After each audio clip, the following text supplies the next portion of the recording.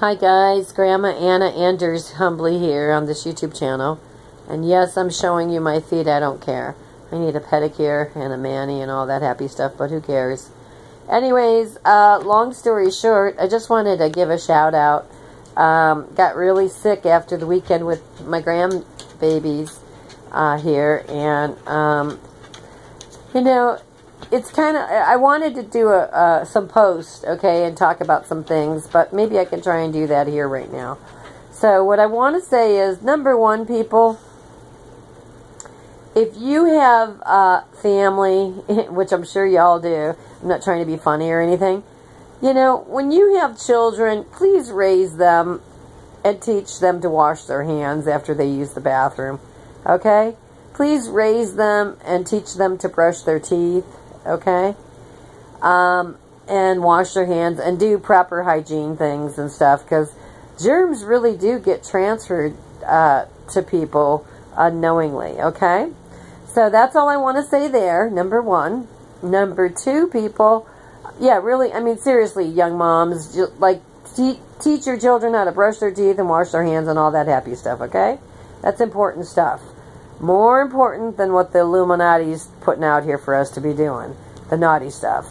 So not that shit isn't important. Okay? So um, what I want to say further is, you know, because I'll give you an example how that translates later in life.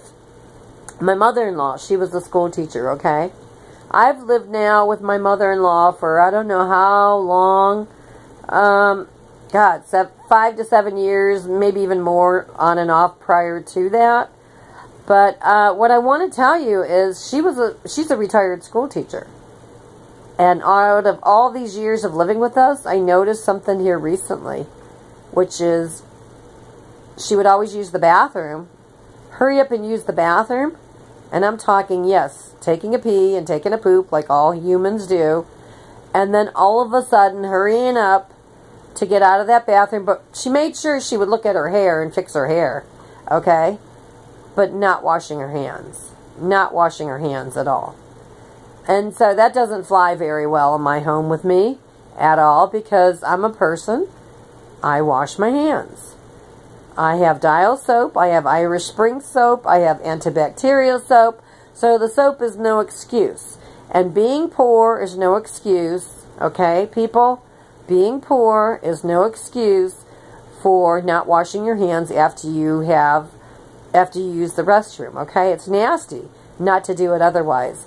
You know, she used to have some issues and I wondered about that and I didn't understand it and recently I almost I almost died because of a leg infection, my left leg here, and it had to do with my lymphatic system and it had to do with um, an injury that happened at work. So my lymphatic the injury got infected and then um, my lymphatic system got affected by it and I ended up with full-blown cellulitis in my left leg with my left leg shutting down entirely.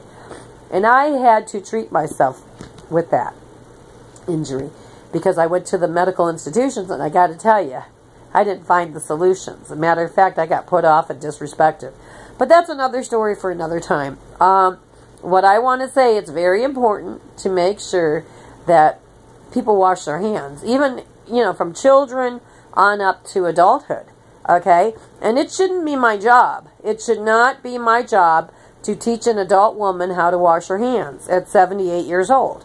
But it is currently as a caregiver to my mother-in-law here. So, but I will say, um, what do I want to say about that? It's frustrating and aggravating at times um, because yeah, that's that's the uh, that's the routine. Go poo, go pee, and fly off the toilet seat and look in the mirror and fix my hair right away because the hair is real important, you know. No, it's not. What's important is wash your hands, soap and water, and then start touching your hair, okay, to fix your hair and stuff. I mean, people, I don't know how people live their lives ass backwards, but they do. And I don't get it. And don't use the excuse, well, we didn't have water and all that horseshit. Because it's horseshit. Okay, it's just an excuse. And school teachers teaching in school have access to toilets, bathrooms, soap, and water. So some of these behaviors are inexcusable, teachers. And uh, anyone that doesn't wash their hands, because you're just transferring germs And it's really gross. So that's all I want to say. People get really sick. So when I got really sick this past weekend, and um, I don't mind getting sick just to get sick and getting ick, you know, like because the flu's going around or, or, or whatever's going around. But to get sick because of, you know, people not taking care of their hygiene stuff, it's like, ugh, not good.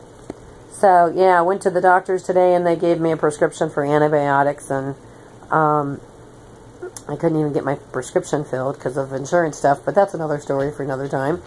Um, so what else do I want to say here? Uh, you know, I also met another lady, I met another person that has a story, and oh my God, what I learned tonight uh, from this lady was very interesting.